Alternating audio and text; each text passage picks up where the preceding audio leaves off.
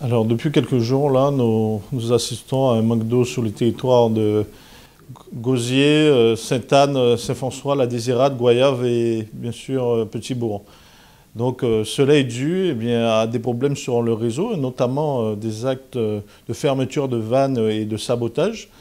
Alors je tiens à rappeler que le SIAG est dans je dirais, dans une situation difficile parce qu'on connaît bien les problèmes d'alimentation sur le réseau. Et si on, se met à faire des actes de sabotage, eh bien, on complique encore plus la chose.